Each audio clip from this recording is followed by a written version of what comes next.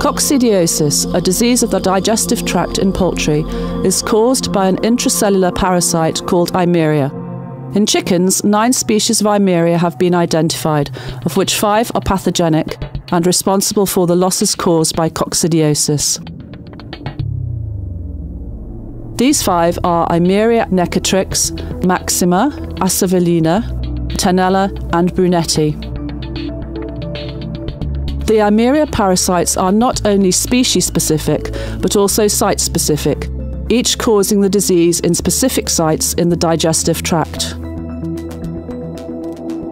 Eimeria acervulina, Eimeria maxima, Eimeria necatrix, Eimeria tenella, Eimeria brunetti.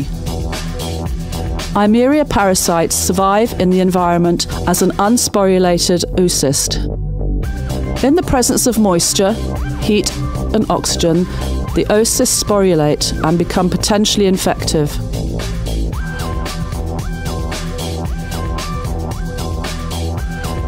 Each sporulated oocyst contains four sporocysts that each contain two sporozoites.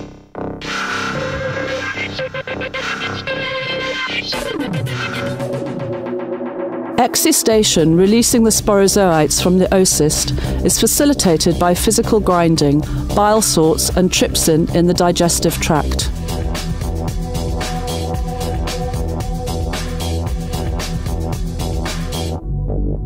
The released sporozoites are then free to enter the enterocytes, or intestinal epithelial cells.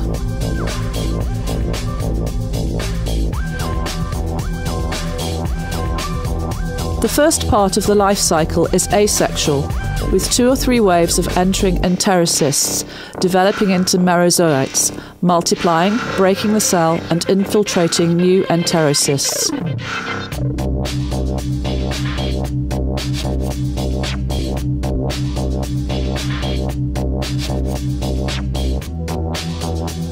After the asexual phase, the merozoites develop into male and female gametes, entering the sexual phase, resulting in a young oocyst. These young oocysts then break out of the cells, causing various degrees of gut epithelial damage, and are excreted in the feces as unsporulated, non infective oocysts. Billions of dollars are lost annually due to direct and indirect losses caused by coccidiosis. Direct losses in the form of mortality can be from 5 to 30 percent. Coccidiosis usually occurs at 3 to 6 weeks of age, which is the most important period for chickens and turkeys.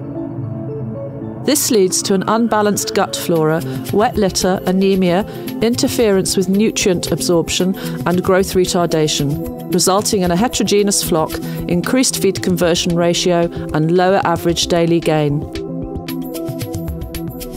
Vaccination of broiler breeders and free range layers against coccidiosis is standard practice worldwide. Vaccination of broilers and turkeys is becoming more and more important, mainly due to the available anticoccidials losing some or all of their efficacy because of resistance, as well as growing consumer pressure in reducing the use of chemicals and antibiotics in food producing animals. Vaccines are an alternative to anticoccidials and an excellent way to restore the sensitivity to anticoccidials in broiler and turkey production. The Ceva Immucox range of products contains the most important Eimeria species for broiler breeders, commercial layers, broilers, and turkeys. The key to successful vaccination is the application and recycling of shed oocysts on the farm. A uniform vaccine intake is achieved by using a unique gel system where vaccine is delivered in a gel suspension, forming gel droplets during the application at day old in the hatchery or on the farm. After the vaccine is given, it follows the normal life cycle as explained, and unsporulated oocysts are excreted into the environment. Birds have to be reinfected a second time, and for some species like Eimeria necatrix, a third time, for those shed oocysts to boost the immune system and reach a protective immunity. This recycling is achieved by ensuring the environmental conditions, especially moisture, are conducive for sporulation, and also birds are kept in close proximity to shed oocysts to increase the chances of reinfection. This is done by carefully controlling and managing the stocking density.